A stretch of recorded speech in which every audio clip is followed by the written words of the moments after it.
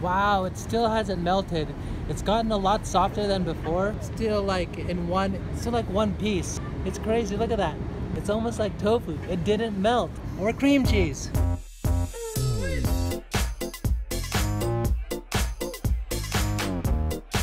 Harajuku has lots of crazy shops and fun little stores, but while you stroll around, don't forget to enjoy the best sweets that Harajuku has to offer.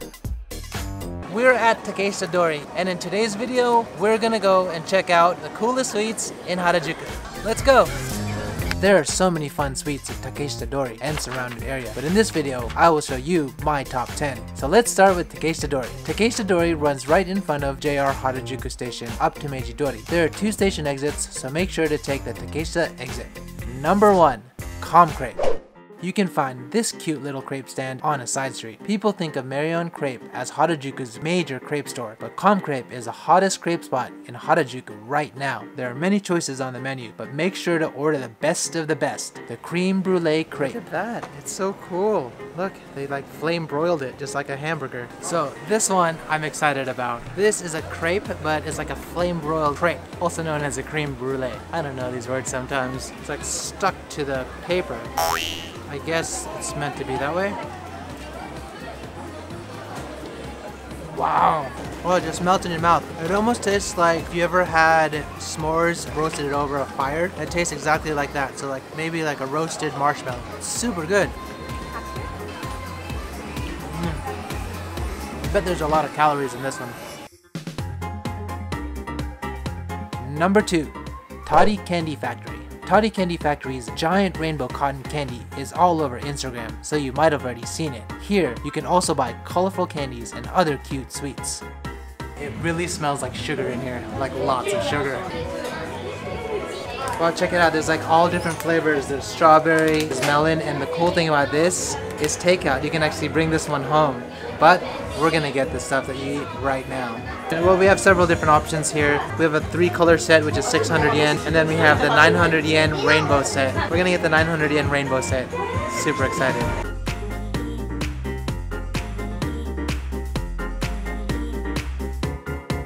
Wow, look how big it is. So this could quite possibly be the largest cotton candy I've ever had. There's like six different flavors in here. Kind of excited to try this out. It's like all sticking to the bottom and it's like pulling actually the bottom here. Hopefully it stays. Mmm. So I can taste the strawberry here. Let's try this part. Mmm. There's like so many different flavors. It's really good. Oh my god. This is gonna be a long day. Number 3. Beard Papa. Beard Papa is a cream puff chain store which has been around since 1999 and is still as good as ever. Check it out. They actually just drilled a hole in here and put the cream inside. It's super fresh. Alright, let's try you out, Beard Papa. So this is not the actual original one, but I wanted to try it out. It's the cookie version. So you can see it's just like super, super light. Doesn't weigh a single thing. So Beard Papa, although it's like very popular here in Japan, there's actually some stores, I believe in the States as well. So when you live in the States, then definitely check it out where you can find it. All right, let's take the first bite. Mmm. The cream is actually not so light as some of the other stuff. The outside is super, super crispy. And then the cream inside, this has a really strong vanilla taste. It's really good. It's a pretty thick cream. The bread is crunchy on the outside. It almost tastes like a pie crust. So good. Thanks, Beard Papa. Number 4. Calbee. Calbee is one of the largest snack makers in Japan. In this store, you can enjoy their fresh fried potato chips with different flavors as well as fresh made jagariko, which is one of the most popular snacks they make. We got so much food. So, check this out. Oh, this is the cheese flavor that they have, and I can feel it. It's like still hot as it came.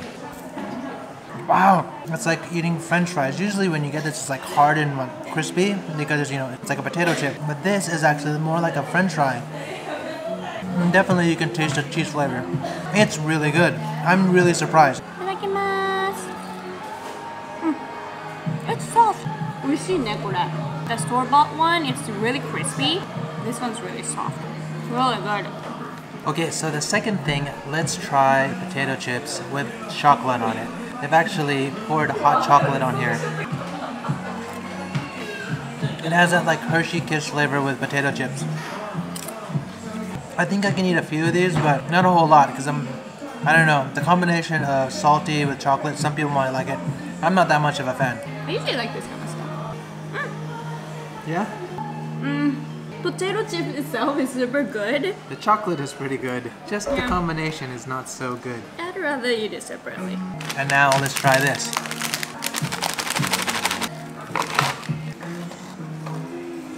Check that out. It's squid ink potato chips. It's completely black.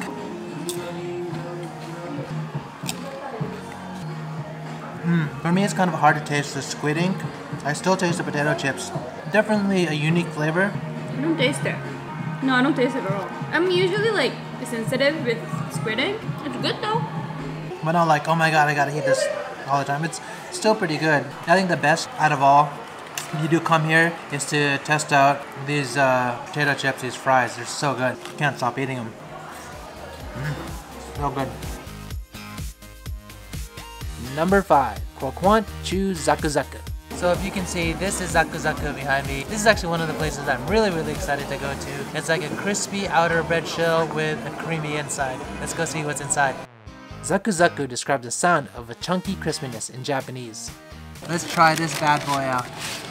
So, it looks like a brown breaded, kind of like Rice Krispies, almost. What was really interesting is how they actually filled this cream thing. What they do is they make the bread in advance, and then they take like this little straw that just shoots this cream inside here. So they've actually creamed in my bread. they've creamed in my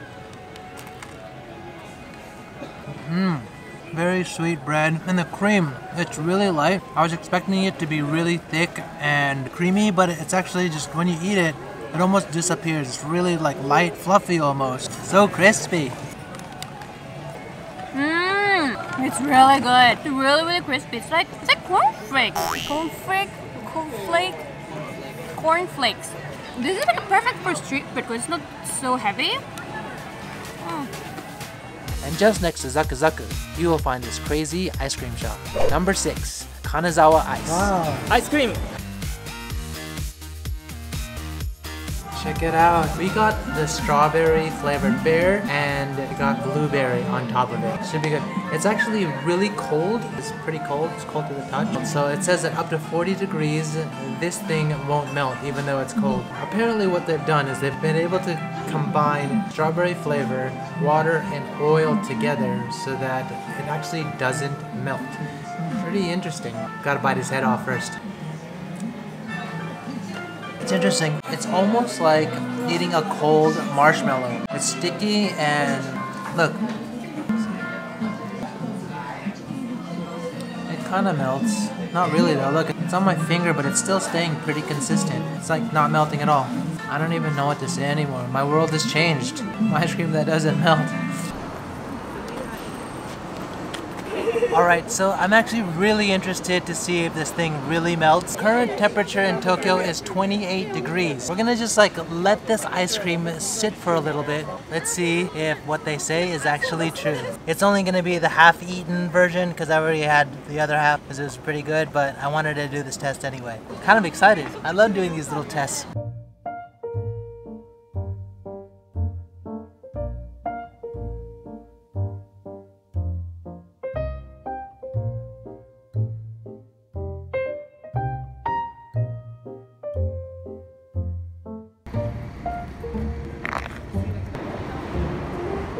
Wow, it still hasn't melted. It's gotten a lot softer than before. Still like in one, still like one piece. It's crazy, look at that. It's almost like tofu. It didn't melt. It's great. Or cream cheese.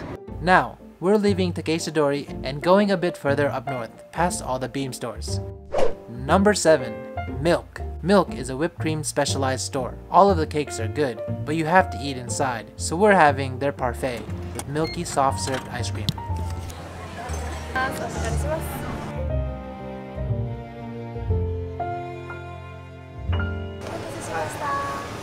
Azamas. Alright, so we got this soft cream, but what's different about this place is it's actually a homemade soft cream. It has tapioca balls, it has a homemade milk pudding. All of the milk came from Hokkaido. I'm kind of excited about this. Come on, let's taste this homemade milk pudding. Tastes really natural. Like it came from a cow. Mmm, so creamy. And like you can really taste the milk. Let's dig in and let's try to get some tapioca. Mm. So underneath, you have the pudding. Mmm. It's also very, very milky. And you can taste the tapioca balls, which gives it like really cool jelly consistency. Not as thick, quite light. The ice cream is thick, the pudding is kind of light. Jelly pudding balls kind of give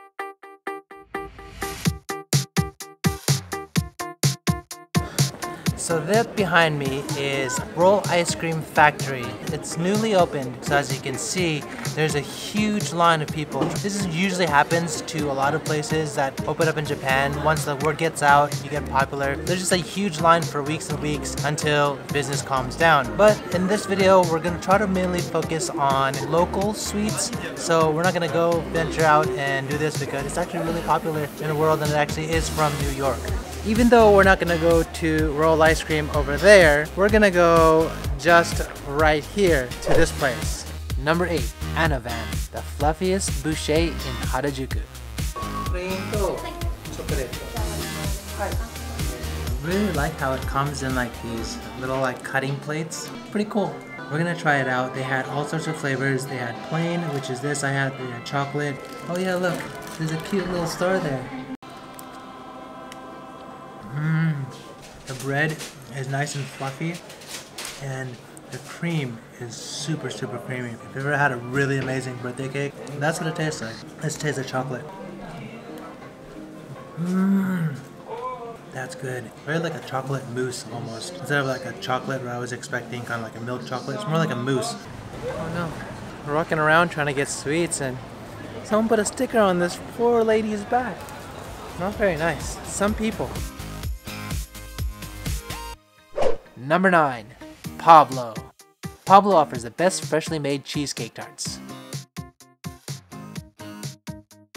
This is a tart matcha flavor and like a custard cake. Probably should take this off before you eat. Wow, it's so soft. I can just feel it. so soft. Hard shell, like a crumb shell. Mmm, that's like almost the sweetest thing I've tasted today. We've tasted a lot of stuff today, and this is like by far the sweetest thing I've tasted. Definitely can taste the matcha. If you have a sweet tooth, like this would be the perfect place to go because it's like super sweet. And the creamy matcha flavor surrounded with the hard crust. Very, very tasty.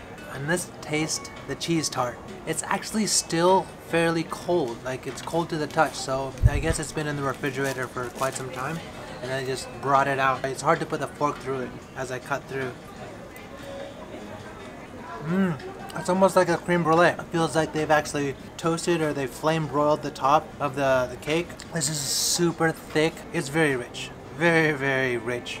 It's very delicious. Had a lot of sugar today, so we're getting there. So this this matcha flavor is pretty good. Um, I've actually had the original one before. It's better than the matcha flavor. It's good, but if you ever do come here, I would recommend tasting the plain version of this or the regular version opposed to this matcha version. What I like most about this place is the name. It's kind of close to mine. Number 10, Torikara. Fried chicken stand that has a pretty unique way it serves their chicken. Plus, they have all sorts of sauces, which I love. Wow, look. Look, it's fried chicken and it's colorful. It's amazing. We've had a lot of sweets today, but I really wanted to check this place out because it has fried chicken and it's colorful. Look at that. I love fried chicken. I love colorful stuff. They put the two things I love and they put it together. It's amazing. It almost looks like Fruity Pebbles with fried chicken. Let's try this. Definitely fried chicken. It's an interesting taste because, you know, there's a fried chicken taste. It's very hot and like piping warm. What I've found is that the breaded crumbs here It's almost like eating cereal with the fried chicken. So in fact, I, I think this is, it's kind of like a senbei coating, but it's not really senbei. It's like it's a family of senbei called arare. It's like a smaller, colorful cracker. And I think they've used that to bread this. It's kind of like an interesting taste. Um, yeah, like I said, worth a try. I don't know if I'll eat this every time down the line because I just love fried chicken normally. But definitely, colorful fried chicken. You gotta love Japanese culture and ingenuity like creating all these superfoods well I don't know if it's a superfood per se but just creating all these like unique flavors and tastes and concepts. Really love being in Japan because of this. If you like this video hit that like button. It really helps me out. Also let me know which your favorite treat was which one you want to try in the comment section below. I'd really like to hear from you guys. If you want to see more adventures of myself in Tokyo or throughout Japan hit that subscribe button and I'll see you guys in the next one